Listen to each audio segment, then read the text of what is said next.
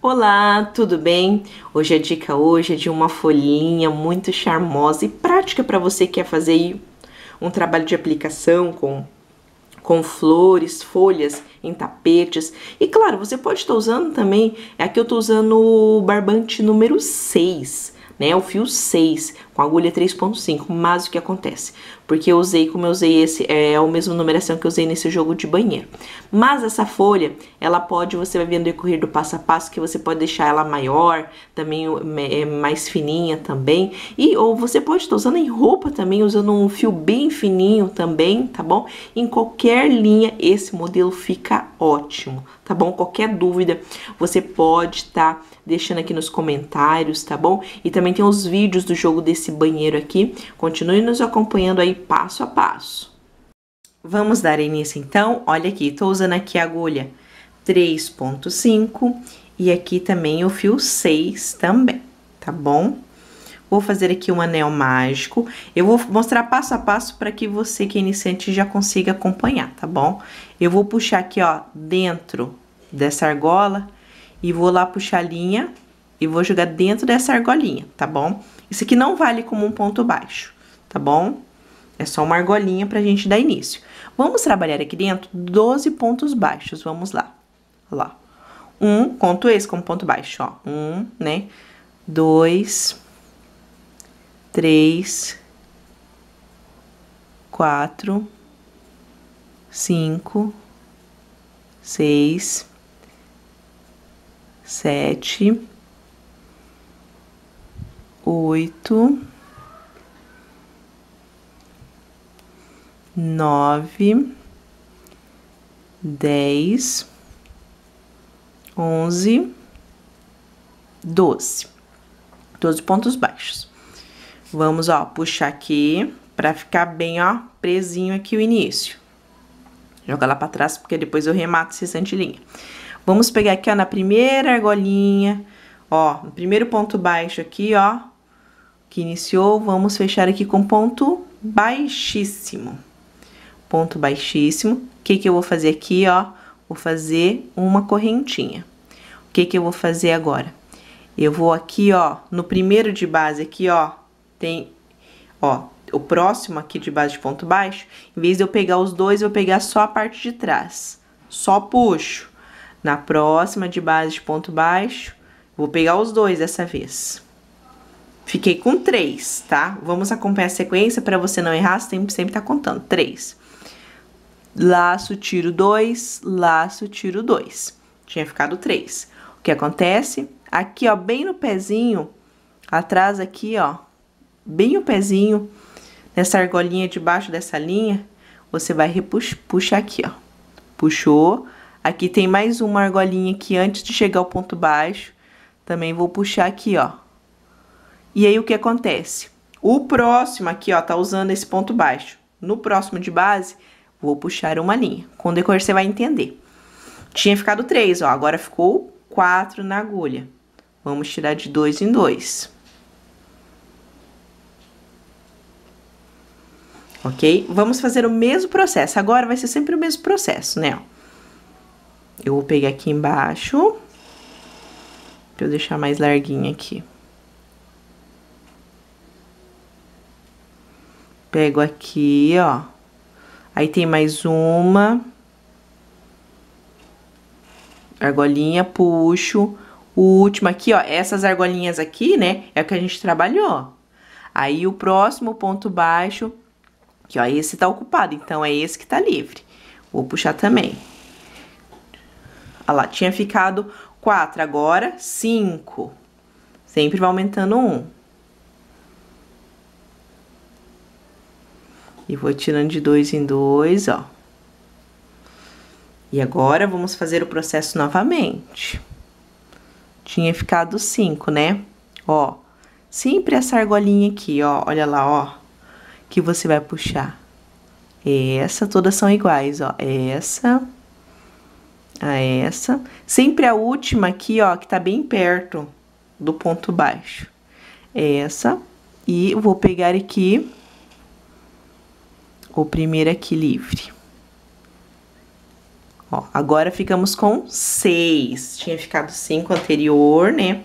Agora ficamos com seis aqui. E vamos tirar de dois em dois, laçando e tirando, ó. Laçando e tirando. Ó. Esse foi o de seis. Agora, vamos de novo, eu vou fazer a folha toda com vocês. Desse tamanho, claro que você pode fazer menor ou maior, mais fininha ou mais gordinha. É só se aumentar, só você continuar trabalhando, né? Deixa eu só tentar pegar aqui, isso. Sempre o primeiro é mais apertadinho. E continuo com essas bases, ó. Aqui aqui. E agora eu vou para o próximo aqui, ó, ponto baixo livre. Deixa eu ver se esse aqui que tá livre mesmo. É, porque um tá aqui, né, e o outro aqui tá livre. Agora, a gente ficou com, ó, três, seis, sete. Então, a quantidade está correta. Você é sempre conferir na quantidade, né? Não tem erro. Aí, vou tirando com a laçada, tiro dois, com fiozinho aqui.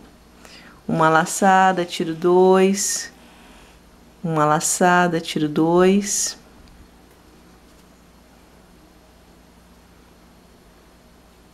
Aí, esse foi o de sete. Agora, vamos lá, ó, bem no pontinho peguei, peguei aqui.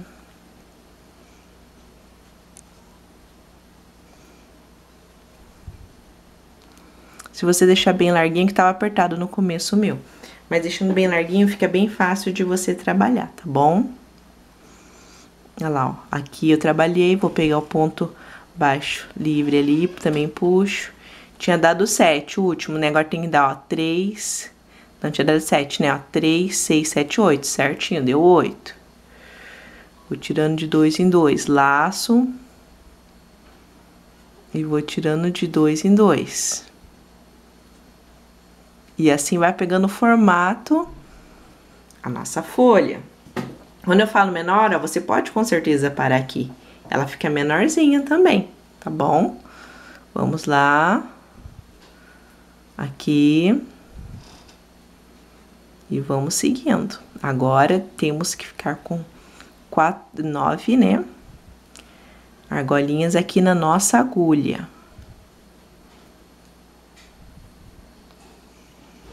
E no próximo ponto baixo. Aí no próximo ponto baixo, eu já começo aqui a retirar. Tirando de dois em dois. Eu vou fazendo passo a passo para vocês verem que a maneira correta de fazer. Que ela é muito fácil, muito facinha de fazer. Agora é a última, né, com 10, que é a que a gente tá usando hoje aqui para fazer. Vou aqui no primeiro. Sempre muita atenção pegar esse primeirinho ali, tá bom? Deixa eu só arrumar aqui. Que um, uma, um fiozinho pegar da masa e o trabalho não fica bonito. Aí. Continuo.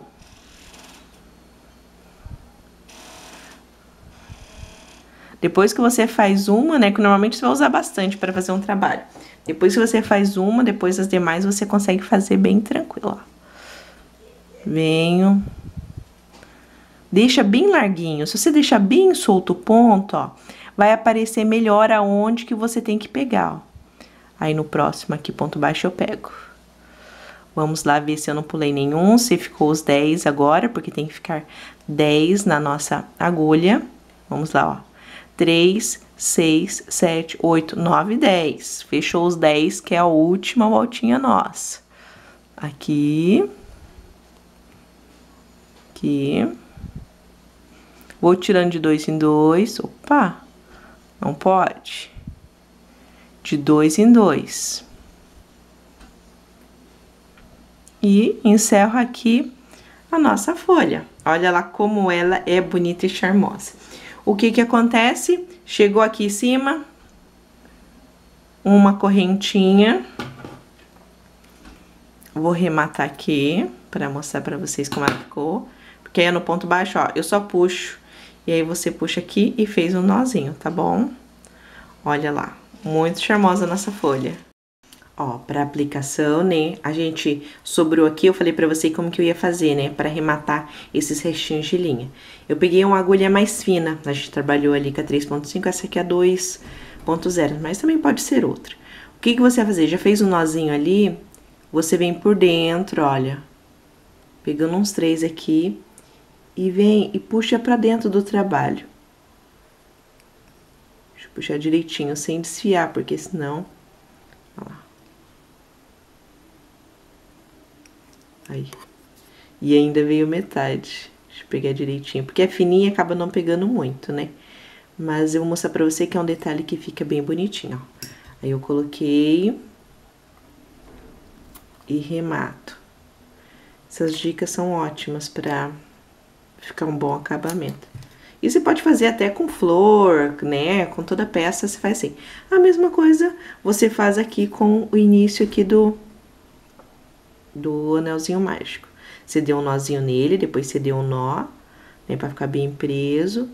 Aí você vem para dentro aqui, ó, para dentro do trabalho. E assim você remata, ó. E fica, ó, bem bonitinho assim, ó.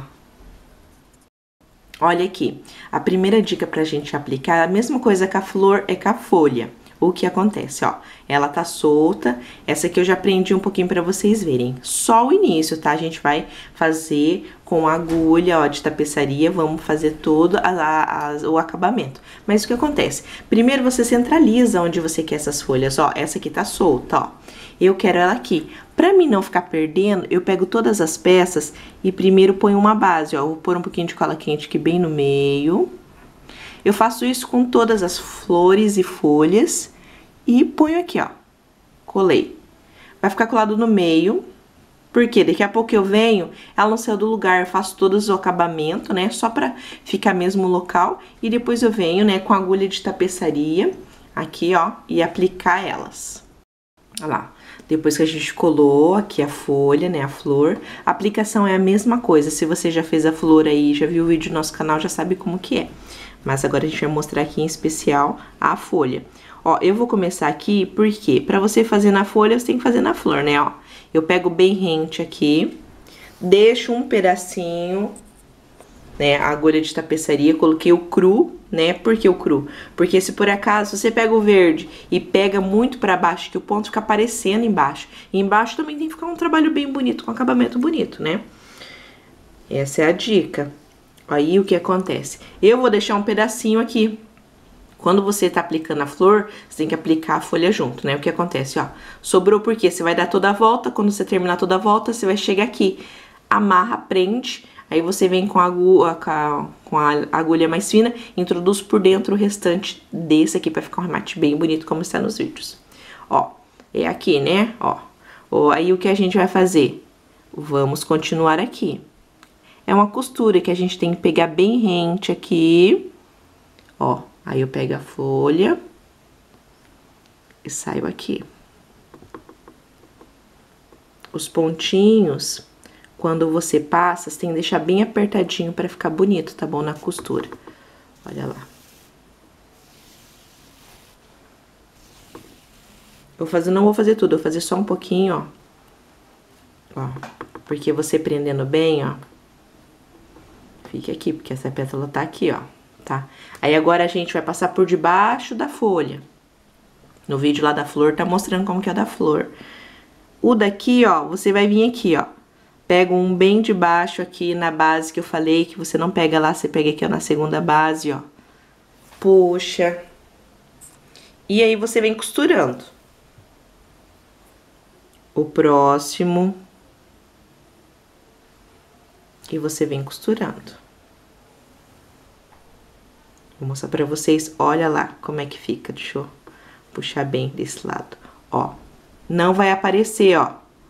Não aparece, ó, tá? Porque você vem costurando bem apertadinho. Como a dica é bem simples, não, não, não vou fazer toda a folha assim. Vou passando aqui pra vocês, só pra ter ideia mesmo. Porque deu toda a volta, porque você vai dar a volta na folha e na flor junto. tá bom? Olha lá, ó. Fica bem rentinho, tá bom? Espero que você tenha gostado aí da nossa dica, da nossa folhinha. Olha aqui, linda, né? Que dá pra fazer, como eu já disse, em vários tamanhos.